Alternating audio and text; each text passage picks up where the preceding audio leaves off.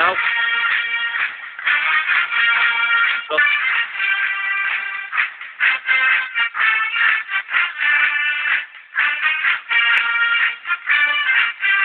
I'll touch it.